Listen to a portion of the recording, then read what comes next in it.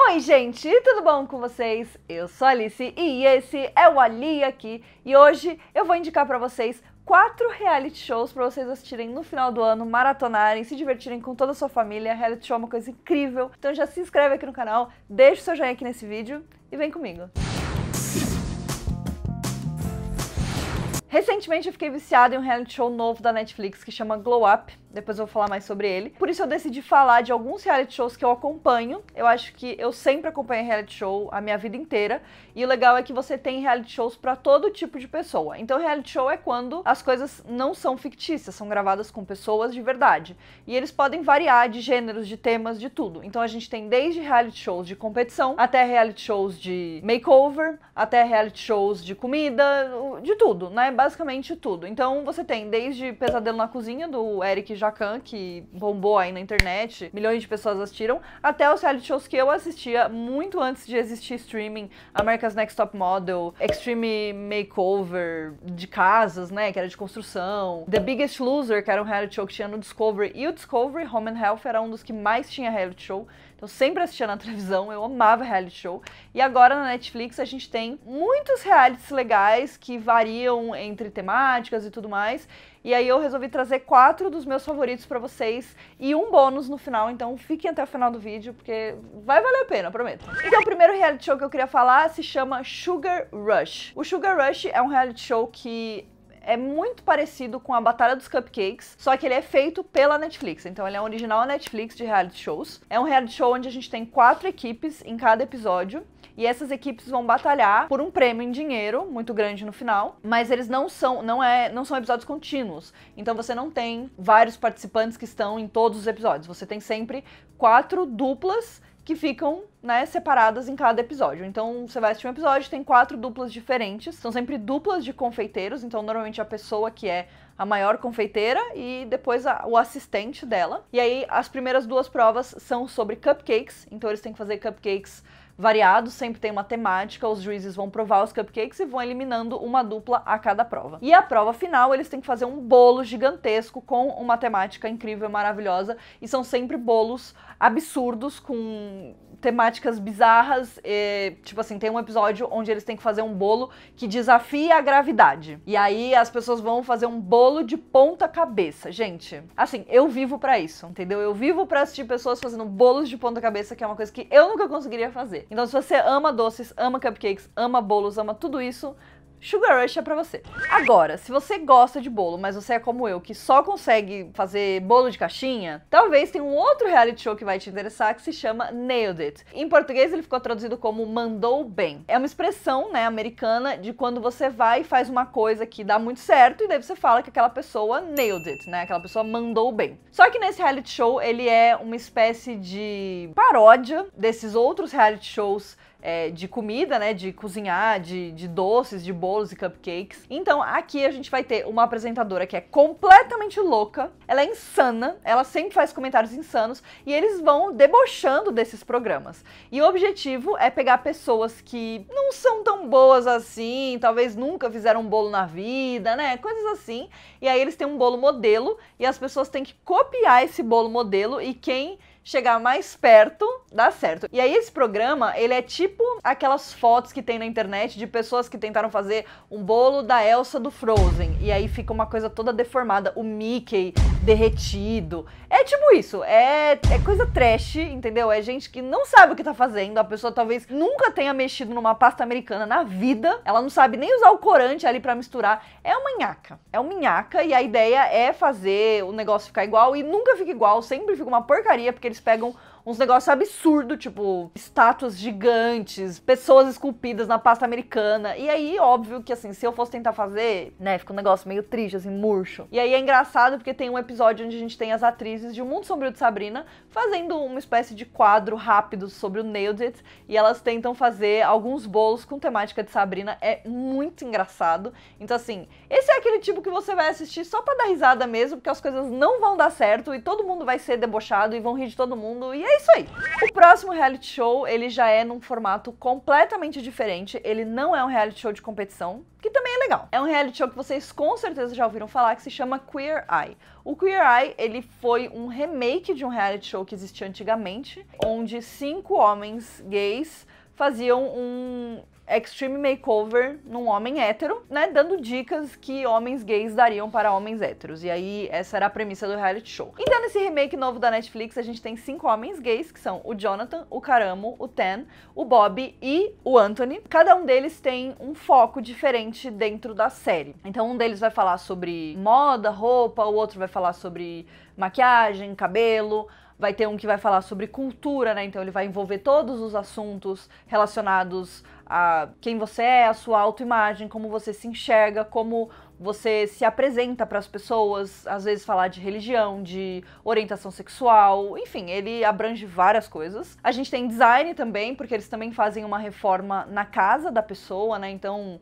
trazem móveis novos e tudo mais. E a gente tem também a parte da culinária, porque normalmente eles é, vão ensinar a pessoa a fazer algum tipo de comida, né? Porque a ideia desse reality show não é como os reality shows é, de imagem que existiam antigamente, né? Onde as pessoas eram completamente humilhadas pela, pela roupa que elas usavam, pela forma com que elas se vestiam ou enfim, pela forma que elas se apresentavam, e tinham que fazer uma reforma total no jeito que elas usavam e às vezes com coisas que nem fariam tanto sentido dentro do estilo da pessoa, né? Antes era muito uma imposição de como a moda era e a pessoa precisava meio que aceitar isso. E aqui no Queer Eye a gente tem uma coisa muito diferente que eu acho que é muito mais legal, muito mais sensível, muito mais sensato, né, em relação a tudo. Que eles pegam a pessoa, eles analisam o estilo daquela pessoa e eles dão sugestões de como a pessoa pode mudar, mas continuar se sentindo ela mesma. Então é um reality show muito fofo, com momentos para chorar muito, e eu choro em basicamente todo o episódio.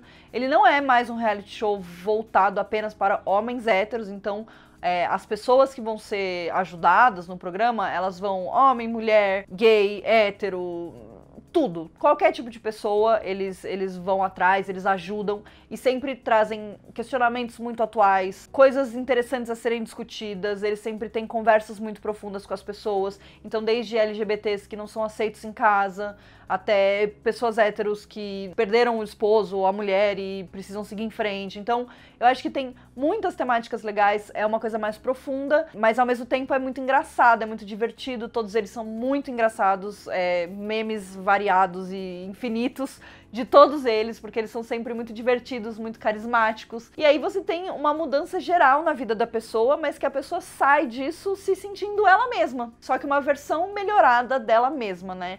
Então eu acho que é um dos reality shows mais legais que tem na televisão hoje em dia.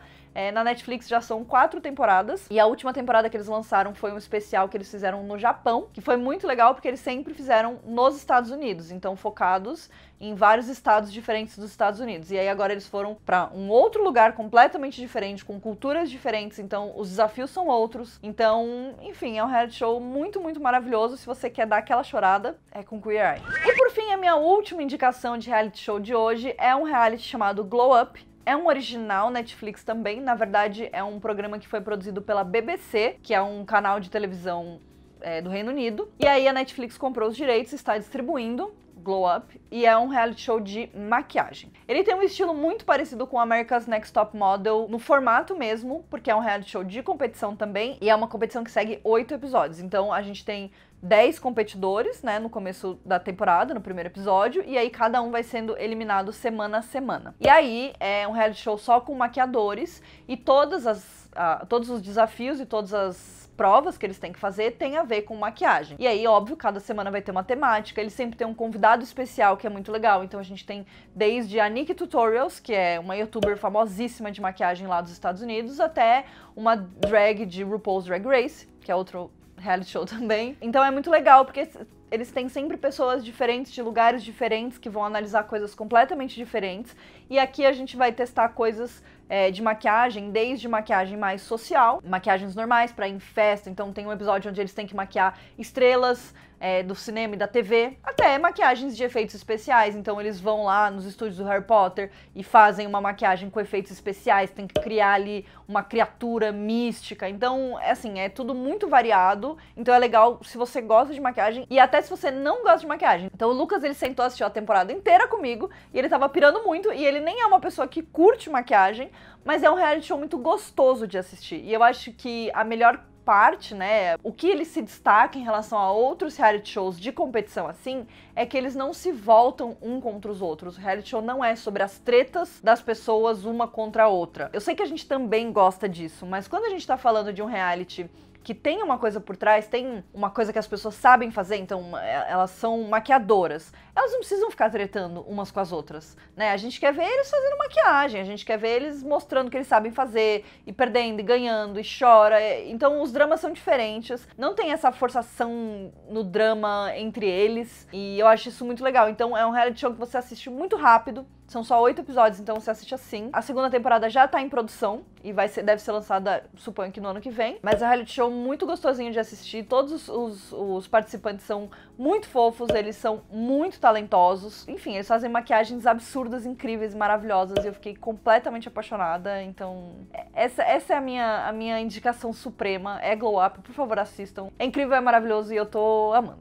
E por fim, a minha indicação bônus é um reality show que ainda não estreou. É um reality show chamado The Circle, original Netflix. Então, é um reality show produzido por eles. E é um reality show onde eles vão pegar várias pessoas é, de diferentes lugares e diferentes profissões e tudo mais. Eles colocam todas essas pessoas dentro de um mesmo lugar. É um hotel, na verdade, não é uma casa, né? Como um BBB assim e as pessoas elas têm que interagir umas com as outras. Mas o detalhe, né, o twist, é que elas não vão interagir pessoalmente. É tudo pelas redes sociais. Então, o programa tem uma rede social específica lá, e aí a pessoa tem que fazer um perfil, e aí ela vai interagir com outras pessoas, e aí ela tem que ganhar mais popularidade dentro do programa e aí também vão tendo interações, vão tendo votações dentro do programa, várias coisas. É a primeira edição, né, que eles vão lançar lá nos Estados Unidos, então eu tô bem curiosa para saber mais sobre esse formato, porque parece ser bem interessante um reality show onde você não interage com ninguém pessoalmente, sim virtualmente. Acho que é uma coisa que tem muito a ver com a forma com que a nossa sociedade é hoje em dia, e eu acho que é um reality show que tem muito potencial para talvez mostrar alguns defeitos da nossa sociedade ou a forma com que a gente faz algumas coisas que não são muito legais, né? E eu acho que com certeza, né, para quem gosta de tretas, confusões, esse daí vai dar altas tretas, altas confusões. Então a gente vai ter a versão americana do The Circle. Ela vai estrear no dia 1 de janeiro com quatro episódios na Netflix. Eu acredito que os próximos episódios devem sair semana a semana. Deve ter em torno de oito no máximo 10 episódios, né? Eu acho que eles não estão fazendo séries tão grandes, ainda mais reality shows. E aí eu tô bem curiosa para assistir. Depois que eu assistir, eu venho comentar aqui com vocês o que, que eu achei. Então não se esqueçam de também comentar quais são os seus reality shows favoritos, o que, que vocês mais gostam de assistir, qual tipo vocês gostam. Eu sei que vocês estão viciados em de férias com ex, então pode falar aqui. Não se esqueça de se inscrever aqui no canal para não perder nenhum vídeo e deixar o seu joinha. E a gente se vê no próximo. Um beijo.